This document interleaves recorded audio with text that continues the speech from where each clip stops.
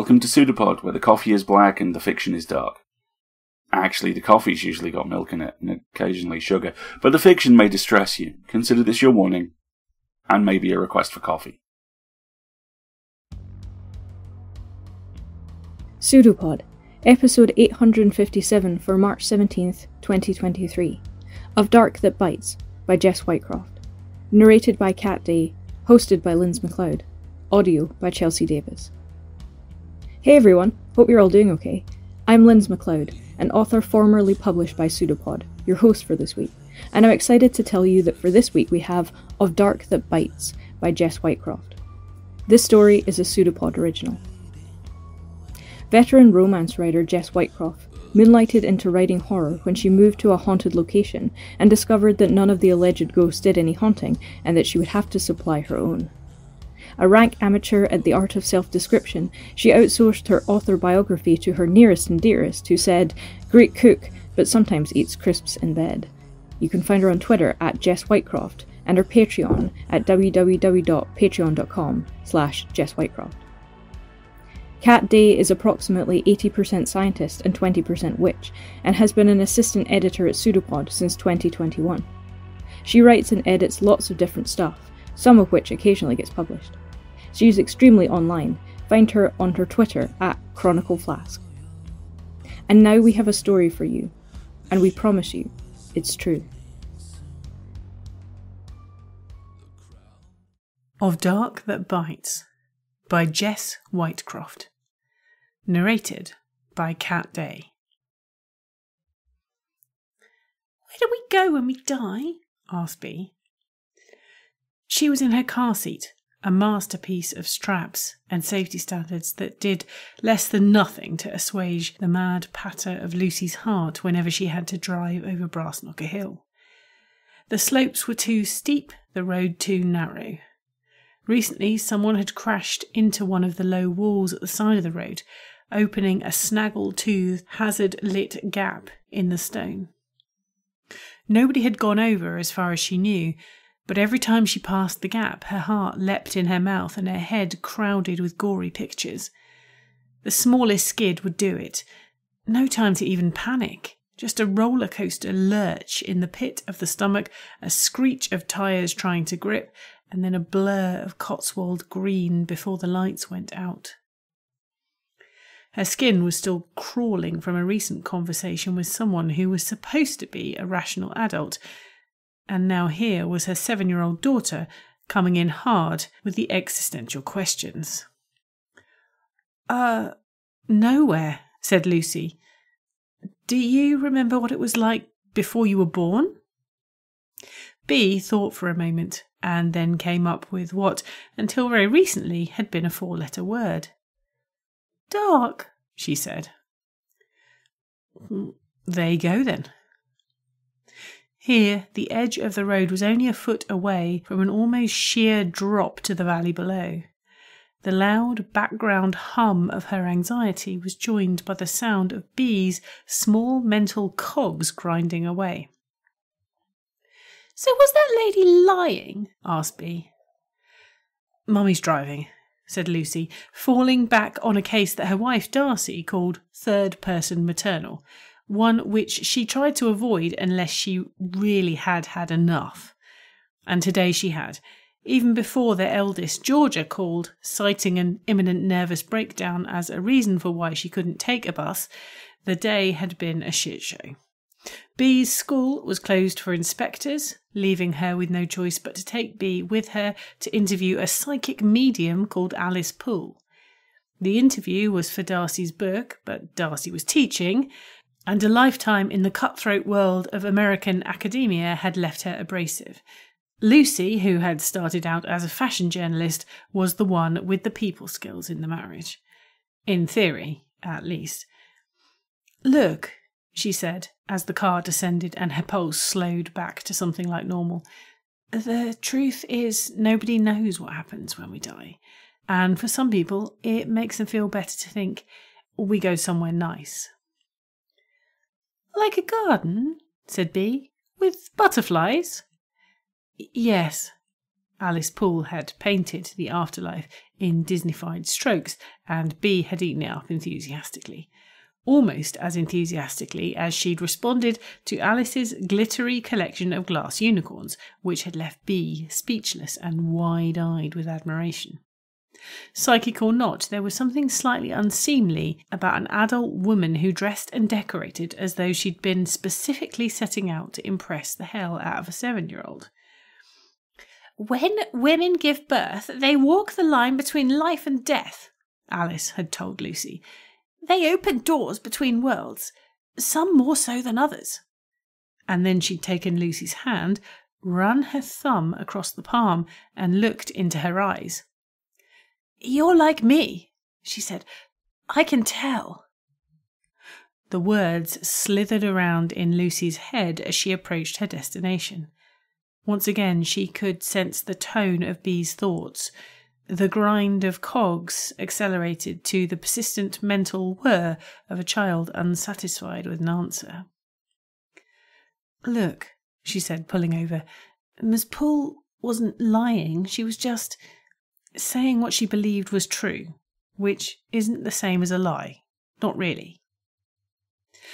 B continued to whir in the back seat and Lucy did likewise, shocked by how much she'd sounded like her own mother. She tapped her fingers on the steering wheel, an echo of maternal impatience. There was a fleck on one of her unvarnished fingernails. It was black, like the negative impression of one of those white spots that her mother always told her were her own fault for not drinking enough milk. It sucked her in, consuming her attention as immediately as a mysterious bleed or an unexplained bruise found when she undressed B for her bath. She recalled Alice Poole's touch, and her heart started its crazed hammering all over again, pounding so loud in her ears that she startled when the passenger door opened. Georgia, Darcy's eldest, their eldest, threw herself into the passenger seat with the kind of adolescent disgust that said she didn't want to talk about it, thank you very much. If only to keep herself from screaming out loud, Lucy asked anyway. So, what happened? she said. Did you have an argument with someone? Are you all right?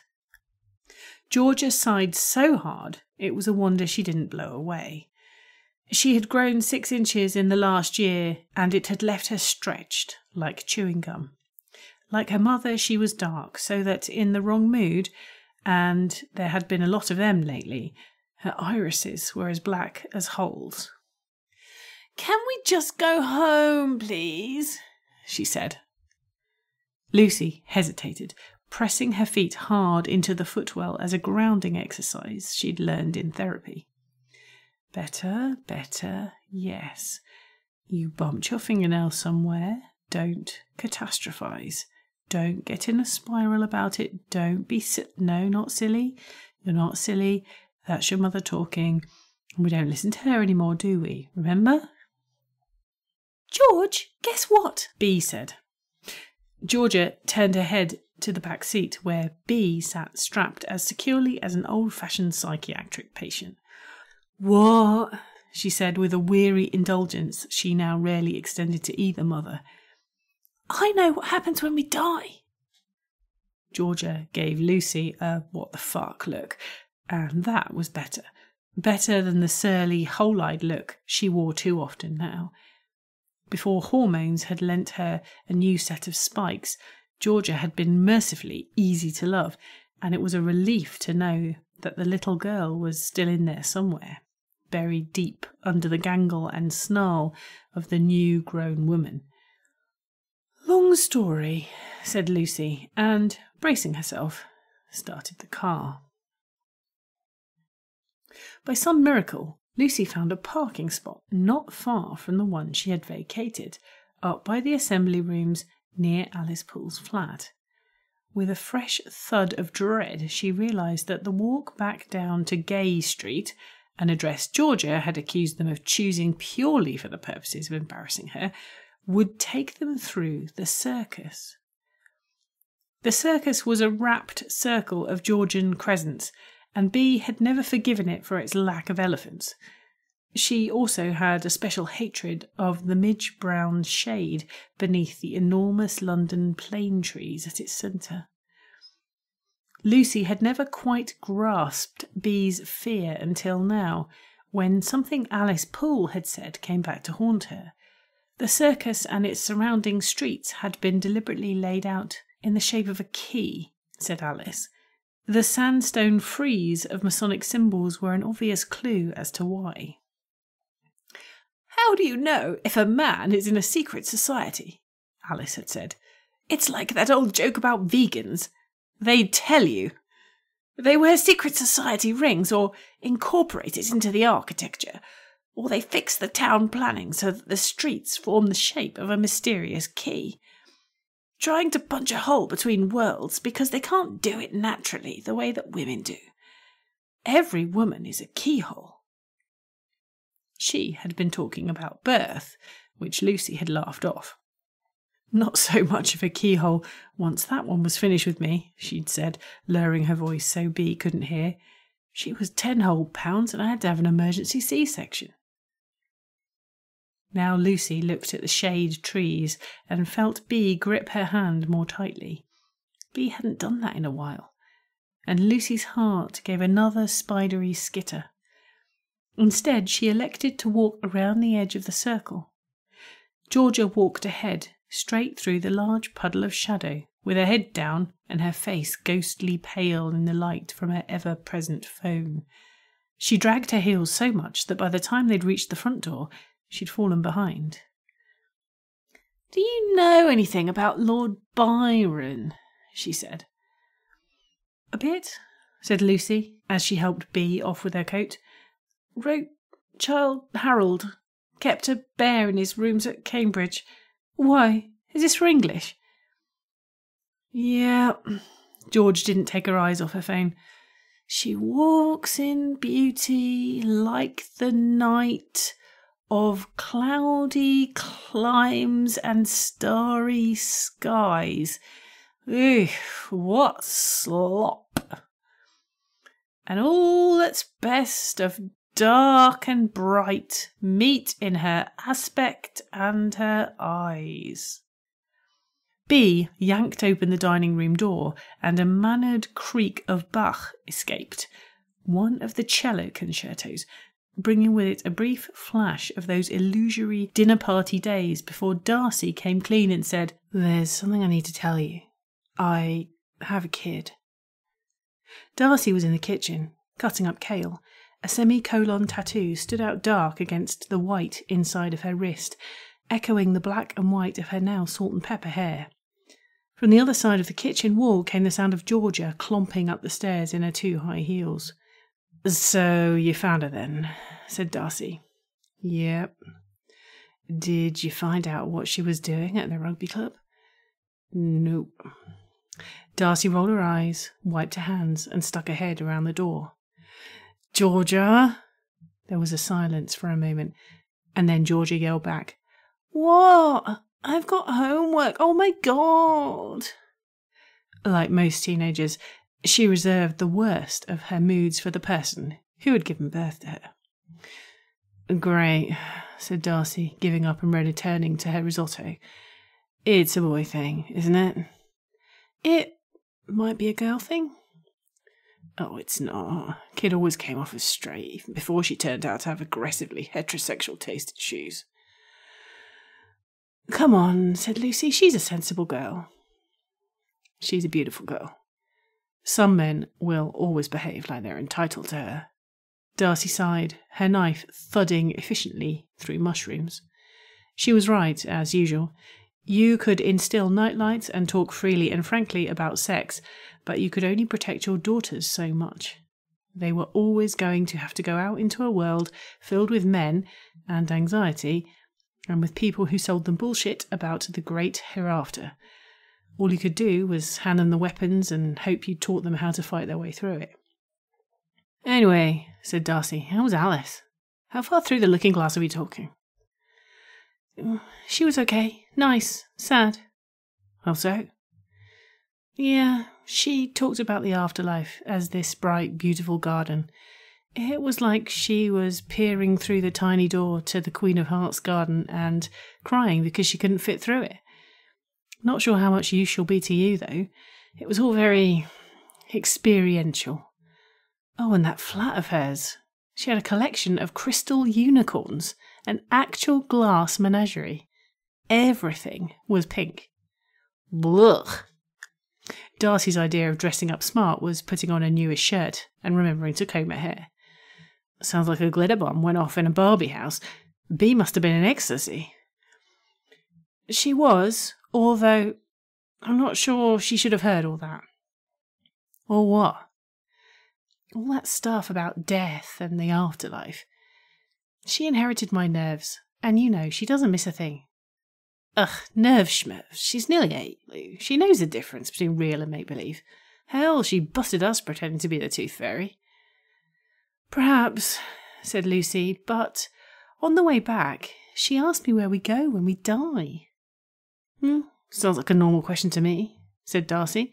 Maybe we need to have that talk with her. Maybe. Bea knew how people came into this world, so it only followed that she should know how they went out. The trouble was that the two were too often intertwined, especially in Lucy's head. But I I don't think we should have exposed her to that. What, Alice Poole? Ah, she's harmless. Is she? Darcy gave her a probing look. okay, fine, said Lucy. She creeped me out, okay? I didn't expect her to because she was all pink and smiley and sweet voiced. But I don't know, she said some things. Baby, what? Lucy shook her head. She she lost a child. She wouldn't go into detail, and I kind of didn't want her to. But then she started talking about birth, and I don't know.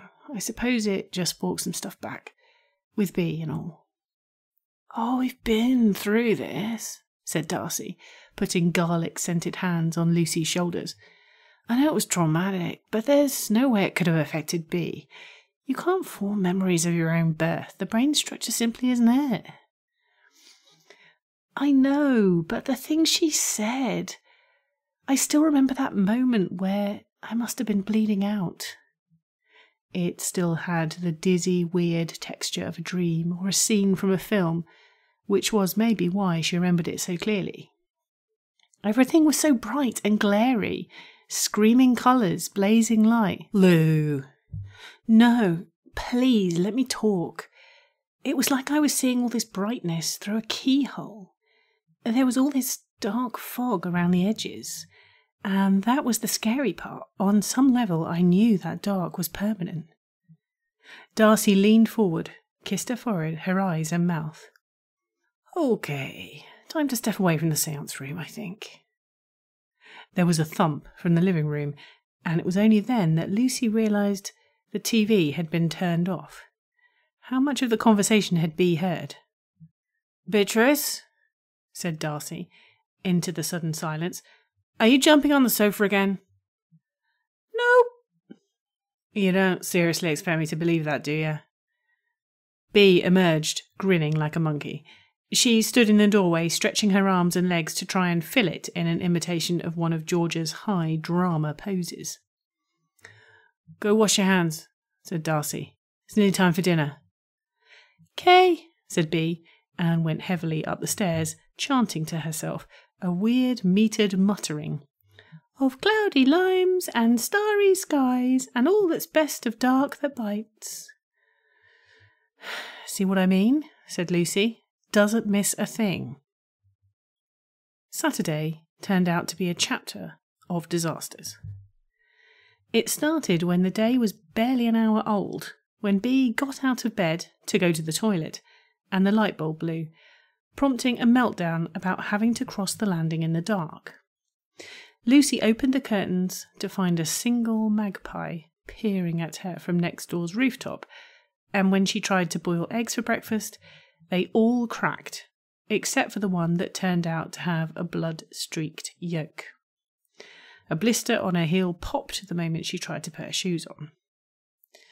The sky was a sour shade of grey, and by the time she'd reached the bottom of the hill, it was beginning to spit. It's mostly indoors anyway, said Darcy, determined to look on the bright side. You couldn't, she said, live in Bath and not see the Roman ruins. As they passed out through the entry hall into the walkway above the great bath, the rain redoubled its efforts. Streaming off the nose of a limestone Julius Caesar and pocking the green orange street surface of the water. They must have been very dirty, said B, if they washed in that. The old Roman street level was some four feet below the modern pavements. As they descended the staircase into the museum, Bee fumbled for Lucy's hand, her fingers chill and wet from the rain. The temple ruins below looked ominously dark, lit mostly by flickering video screens depicting ancient Romans going about their daily business. The air had a strange metallic tang, a flavour that reminded Lucy of the operating theatre, when the smell of her own blood had been so strong that it coated her tongue like iron filings. She kept talking as she led B down the stairs. The metal smell grew stronger, so thick that Lucy began to feel faint and wonder if she was having some kind of brain event. Her ears hissed and the air felt damp. B clung tighter to her hand, her little fingers cold as the claws of a goblin. Huh, this must be the outflow, Darcy was saying just ahead, around the corner, but Lucy was barely listening, afraid that if she let her panic show, she would only reinforce everything Bee had ever hated about the dark. They rounded the corner.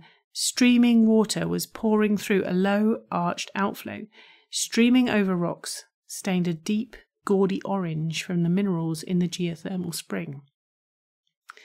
Maybe it was the shape of the aperture, a slight upside down smile, or maybe it was the ironish tang in the air. But Lucy once again remembered looking up into the ceiling of the theatre and seeing reflected on polished metal her own belly slit wide in the same smiling shape. And Darcy was there, holding her hand as tightly as if the dark was going to come up and eat her, too wrapped up in the moment. She's here, she's okay, oh Lucy's so beautiful. To realise what it was that Lucy was seeing, what Lucy was tasting metal and blood, and the deepening darkness making perfect sense because look how much blood was spilling out of that smile. More than you could lose and live. Mummy!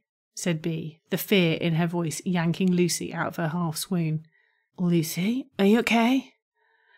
Uh, I'm I'm fine. I, I'm just a little dizzy. Maybe it's the steam. Darcy breathed in the smell of the mineral water and grimaced.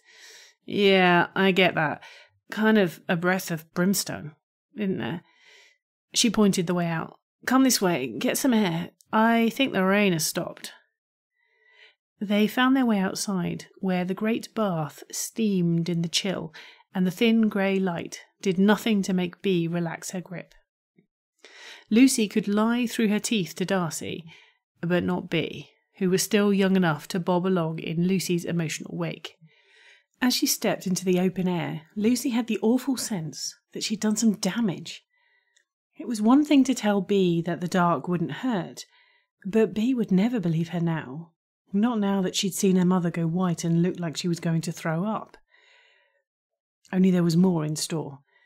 The way out led back through more subterranean ruins, the swimming pool and the caldariums and plunge pools, all fascinating and all darker even than the museums. B all but dug her heels into the cobblestones as they moved towards the bathing complex, finally getting on Darcy's last nerve.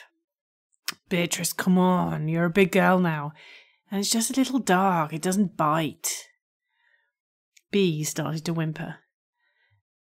There's no other way out, said Lucy, feeling simultaneously frustrated and something like a monster forcing her daughter to walk into a place that scared her so thoroughly. She kept up a running commentary as they went. Look at the big pool. See the steps? But it was hopeless. To poor Bee, it was just a series of dark rooms filled with a series of dark, empty holes.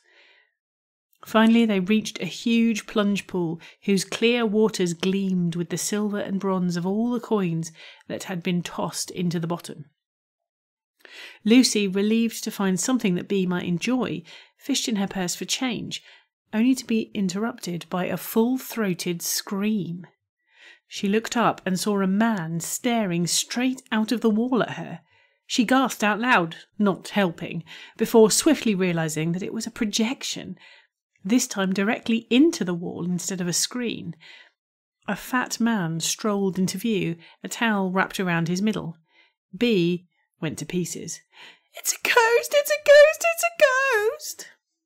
It's a film, B. Watch. Just watch, and it'll happen again. People were staring, and B was beyond reason, flailing against Darcy's attempts to show her that it was nothing more than a recording.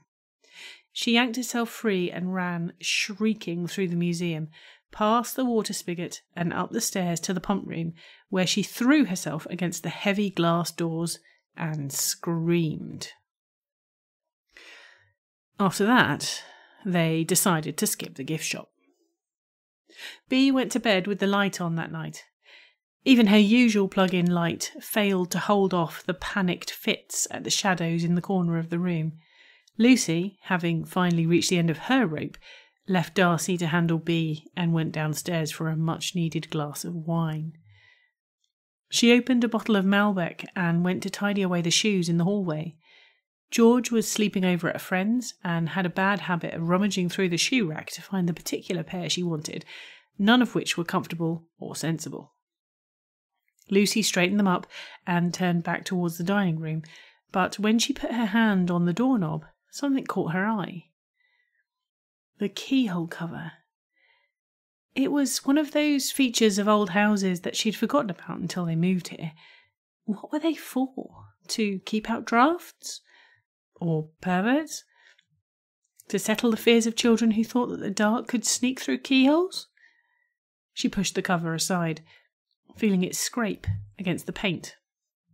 Oh God! What if she couldn't put it back? The anxiety pounced on her like a leopard, that old childish fear that you'd broken something and couldn't put it back the way it was.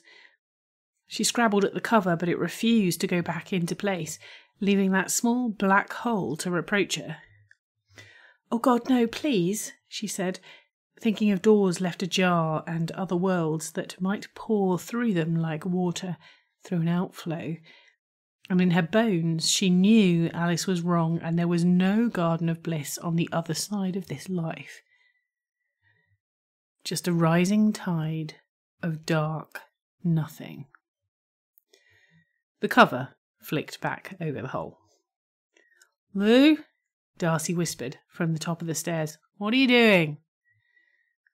Nothing. Waiting for the wine to breathe. It was a pathetic explanation and only seemed to deepen Darcy's puzzled frown, but Lucy got a grip of herself and returned to practicalities. Is she down? Darcy nodded and came downstairs, quietly closing the dining room door behind them. Finally, you were right about Alice Poole, by the way. I was? Yeah, Bee shouldn't have heard all that bullshit. She hasn't been this scared of the dark in years. Some time later, Lucy went back upstairs. The landing light was on, and Bee's door was ajar. She tiptoed across the landing to the bathroom. In the light, her nerves felt better, cushioned the way they should have been after a large glass of wine. As she got up from the toilet, she caught sight of herself in the mirror. The scar always looked worse in artificial light. A wide slash made with no time for aesthetics, even as an afterthought. No time for anything besides getting Bee out because they couldn't find her heartbeat. Just gave Lucy a quick epidural and whisked her into theatre. For all those natural childbirth classes, Lucy had never been a keyhole. She'd been a gash, an upside down half smile lipped with clownish red and yellow. She turned on the tap, and the hiss of the water reminded her of the outflow the stained rock, and the strange, infernal smell of the drifting steam. There had been something obscene about the way the water belched shamelessly forth from such dark, private depths. a hole she hadn't been supposed to see, let alone stare into. Stop it, she told herself as the creeping anxiety returned.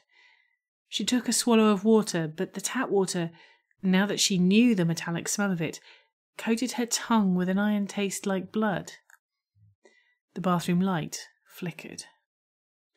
Lucy set down the glass on the sink slowly, as if the sound of it against the china might somehow startle the light into going out altogether. Her heart swooshed loudly behind her eardrums, the skin of her belly crawling as if the severed nerves around the scar were standing up in response to some dark, unseen tide blind and secret as tube worms at the pitch black bottom of the ocean. A door slammed. She would have screamed, but B started screaming first. Lucy flung open the bathroom door to see that although the landing light was still on, B's bedroom door was closed and it had slammed. There was no doubt in her mind about that. It could only swing shut so far and then it always stopped, caught on the carpet and the uneven floor. Behind it, B was shrieking, howling, pounding on the door with both fists. There was no light coming from under her door. Lucy grabbed the handle, but the door wouldn't budge. Bee, I'm here. It's okay. It's dark. It's dark in here. It's dark. It's dark. Darcy came running up the stairs. What's going on? The door slammed, said Lucy, trying to push it open. The keyhole cover was painted firmly in place, and the door held as fast as if it had been locked shut. B, move away from the door, baby. You're leaning on it. There was no reply from B. Oh my God. Give me that, said Darcy, taking hold of the handle. She shook it and shouldered the door, but nothing happened. Beatrice, where are you? Talk to me, honey. Talk to Mama. Why isn't she saying anything? Lucy could barely feel her lips as she spoke, her face and hands numb with fear, her mind full of awful possibilities seizures, injuries, all the things she feared the most. She wrestled the door handle from Darcy, and then she could have sworn she heard a kind of rushing sound, a swoosh that might well have been a hammering overwrought heart. The door gave way. At first they couldn't see anything, and then Darcy kicked the door wider, illuminating a little huddled heap against the wall. A huge eye peered up at them, and it took a split second before Lucy recognised the eye as that of a cartoon. Bee had wrapped herself up in her frozen duvet. Lucy leapt forward, and Bee, under the cover, let out a shriek. Bee, it's okay. Mummy's here. Bee babbled about the dark, but Lucy pulled back the duvet to discover that Bee had tented herself next to the plug socket, where her nightlight was still on. It must have been a fuse, said Darcy. But Lucy wasn't listening. She grabbed Bee out of her makeshift shelter and hurried to the landing, Bee clinging to her like one of Harlow's monkeys. As she stepped out of the light, she felt something tug at her ankle. Darcy checked the bedroom light. It flicked on, but Lucy was in no mood to think about wiring. She rolled up the sleeves and legs of Bee's pyjamas, checking for broken bones. Bee submitted to this examination with snuffling, sobbing relief, but she seemed unhurt, just scared out of her mind. There was no question of Bee going back to her own bed that night. She crawled in between her mothers and lay there staring up at the light so long and hard that Lucy had to beg her to close her eyes. Even the darkness behind her own eyelids seemed to scare her senseless, a relapse into those early days when all was black and white and shadows were a thing to be hated and feared. Finally, around three o'clock, Bee fell asleep, her cheek pressed against Darcy's, her baby blonde hair pale as a ghost against Darcy's chopped off black curls. Lucy watched them sleep for a while and deliberated over whether she should risk turning out the light now. She got out of bed to go to the bathroom. As she set her foot on the floor, her heel hurt like she had a bone spur, the same sensation of stepping on the point of a knife, only colder somehow. And then she remembered that moment, in the height of her fear, when she had felt that tug on her ankle. Maybe she'd been imagining things, but maybe not. Maybe she really had felt something grab at her Achilles tendon as she fled from the dark. Cold, goblin fingers reaching out. Stop. Lucy stood with her hand on the door handle. Beyond was a darkened landing, and she knew that if she walked out there with all this nonsense on her mind, she would only be making it worse for herself. It was nothing but the dark, nothing to be afraid of. The night hissed in her ears as she turned the knob. She stepped out into the dark and made herself stand there. You never felt more alone than at three o'clock in the morning when the entire world seemed to be asleep. The hissing silence swelled, growing louder and faster until it oscillated in her ears, a vile, insect like chittering that stifled her breath. She crossed the landing in one pace and reached for the bathroom light cord, but it wasn't there where her fingers expected to find it. And for a second she flailed blindly in the dark, sure she was going to scream. There. Click. She had never felt more ridiculous. There was the familiar bathroom, the body scrubs and toothpastes and makeup bags, the bath sponge in the shape of a pink, smiling crab. Lucy pressed her hand to her chest as if she could still the mad beating of her heart manually. Then, as she stepped forward, her heel throbbed again. This time it was hard enough to unbalance her, and she stumbled a little, leaning on the side of the bath. It was nothing. She'd been on her feet all day, hoofing around the Roman baths with a popped blister. No big deal. She lifted her foot to look at it, and then the bottom dropped out of her world. One of those big, stomach swooping shocks that got you when you saw how far you had to fall, or when the doctor said they couldn't find the baby's heartbeat. There was a black mark on her heel. Not big, just a round mark, not much bigger than the eraser at the end of a pencil. But to her it looked enormous. Another hole that should never have been there. The skin around the edge was purple red and puckered.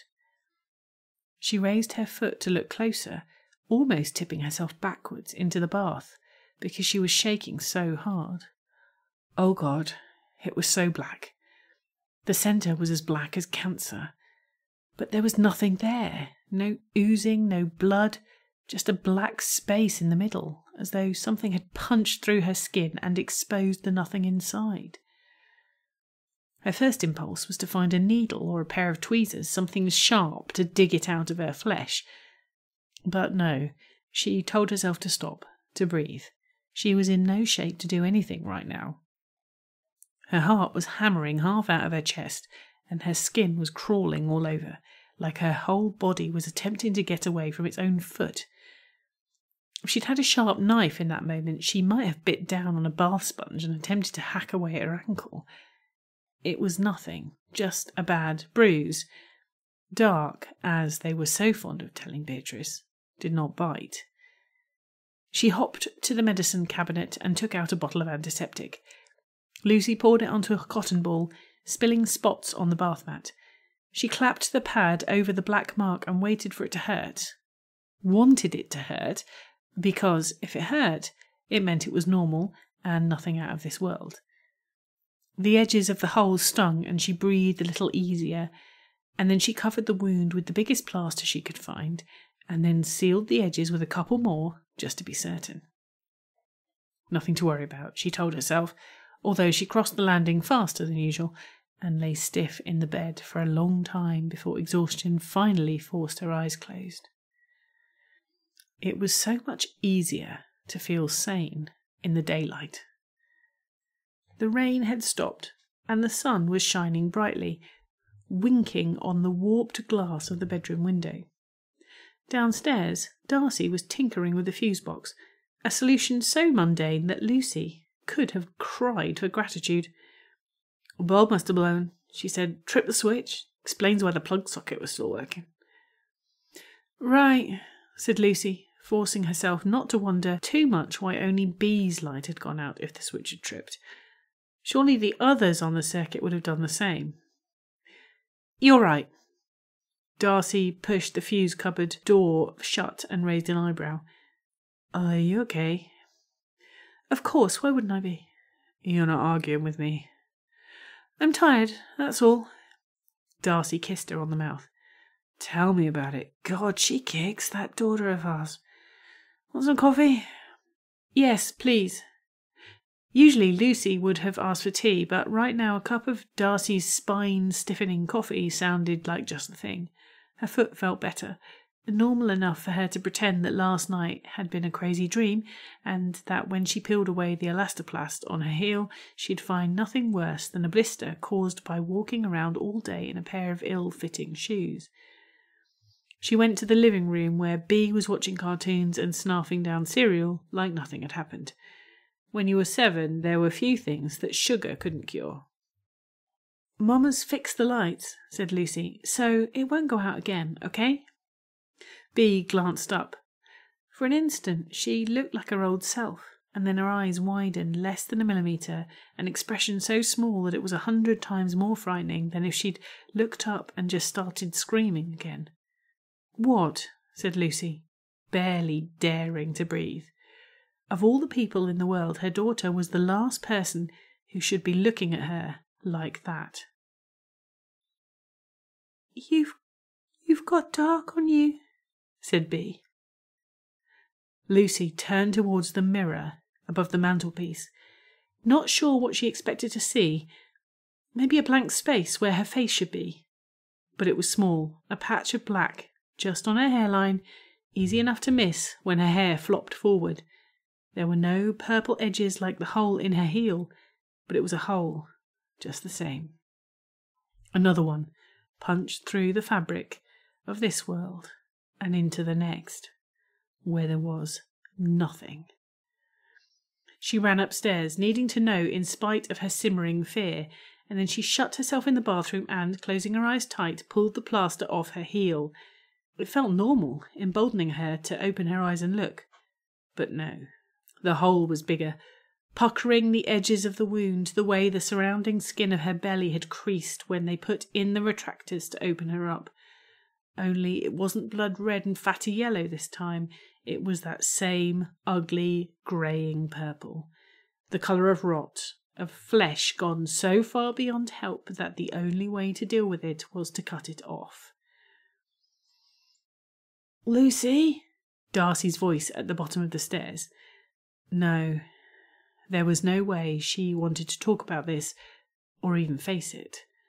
Not with Darcy, anyway. She'd make it practical, real. I'm okay. Lucy's voice sounded thin and unconvincing to her own ears. There was a pause, and then Darcy said, Coffee's ready, and moved away from the foot of the stairs.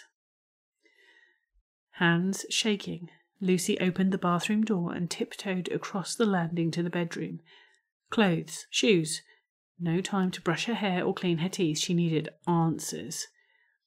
She hurried down the stairs, past a confused and newly returned Georgia, who was, oh God, no, no, examining a blister on her toe. Almost tripping over an abandoned sandal, Lucy rushed out into the street, up the stem of the quay to the circus. No time to walk around. She ran across the road to the green under the shade of the big plane trees. No sooner had she stepped into the shadow, she heard it, even louder than last night, that insecty sound, chittering and rustling like the sound of a million tiny, near mindless things crawling all over each other in their haste to start eating, reducing skin and flesh to dry, white bone. Her heel throbbed as she ran. The patch on her forehead started to sting. She was full of holes, and all the dark was bleeding through.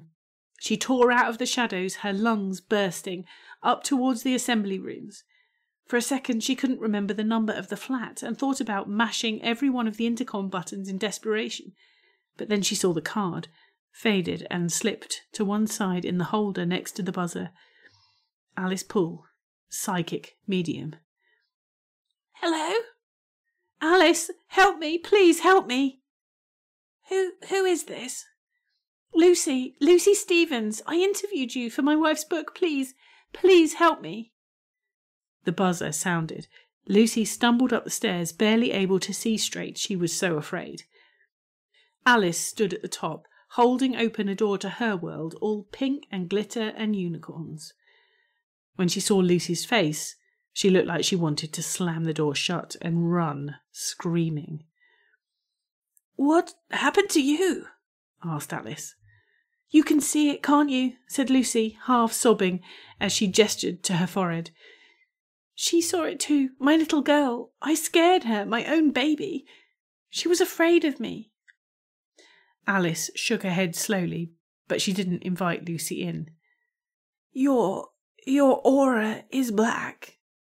What does that mean? I told you, said Alice. You're like me. You're a door. I'm a hole, said Lucy.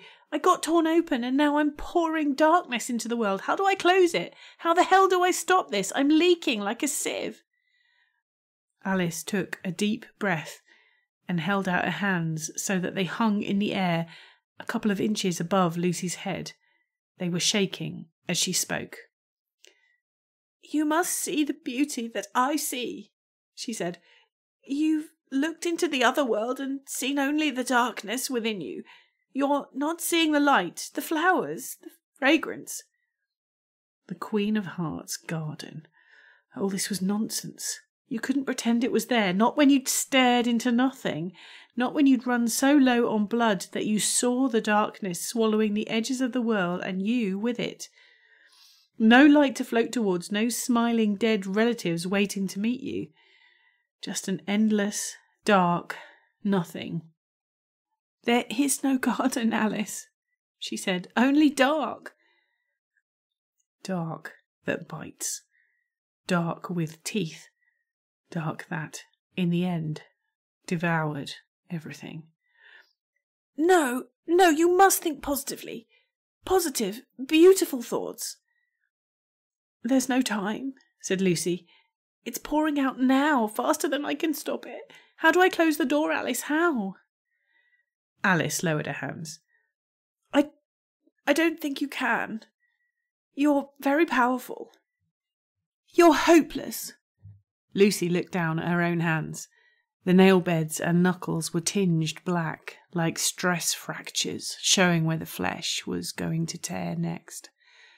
And all that dark would break out, its teeth sharpened and looking for the next bite, just the way B had always feared. God, Bee, Darcy, Georgia. It would spill out of her and come for them next, and there was no way she could let that happen. She ran back down the stairs, back down the hill to where she'd last parked the car. Her hand shook as she jabbed the key in the door. When she saw the strap of Bee's pink car seat, she almost ran back indoors, but the darkness had found its way to an old scar on her forearm and was bleeding through the weak point in her skin. Her C section scar would be next, or George's blister, or that fine line behind the semicolon on her wife's wrist. There was only one thing she could do to close the door. Brass Knocker Hill. Lucy started the car.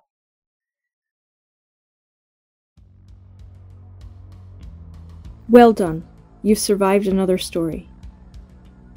I love the way Jess weaves tender familial relations with absolute bone chilling terror. She taps into something so visceral in the story, so primal, that it made the hairs on the back of my neck stand up. To do all that would be a triumph enough in itself, but then Jess wove Byron in as well, chef's kiss. And that ending was both a tremendous gut punch and also a perfect way to close the circle. You're going to need the lights on after you read the story, and even that won't save you from the dark that bites. What did you think of this story?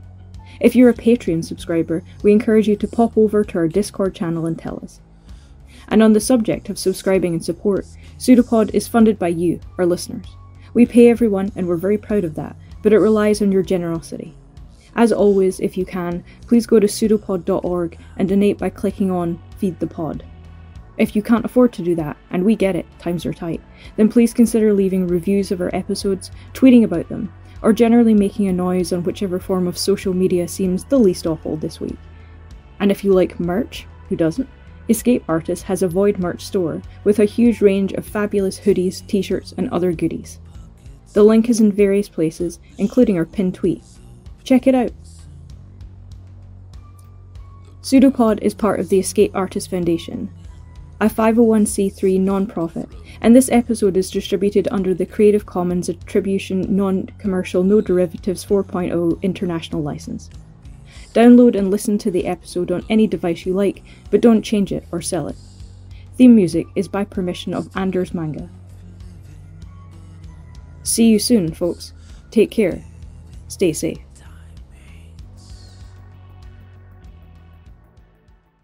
An arm appeared from nowhere on the shape, seemingly projected like the pseudopod of a protozoan. It's a pseudopod. It's a big foot. It's all about podcasts these days.